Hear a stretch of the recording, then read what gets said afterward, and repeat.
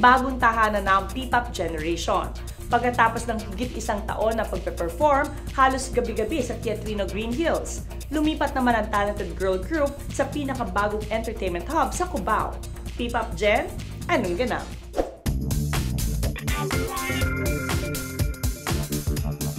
Naging espesyal at emosyonal ang huling pagtatanghal ng P-pop Gen sa Teatrino Green Hills.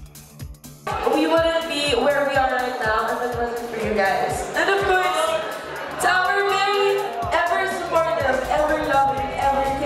supporters, thank you so, so much from the bottom of our hearts. Sa hirap, kasama namin lahat, kasama din namin kayo. Thank you guys. I love you all so much.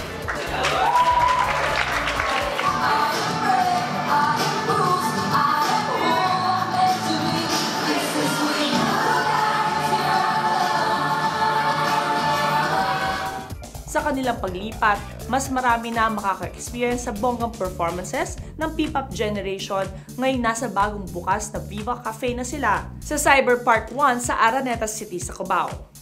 At sana lagi niyong tatandaan na mahal na mahal namin kayo lahat. Sana huwag niyo po kami iwan at hindi kayo magsawang i-support kaming lahat.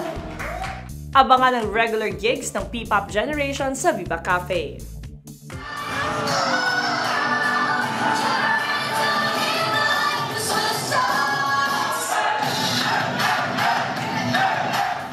And we are ready for a new beginning.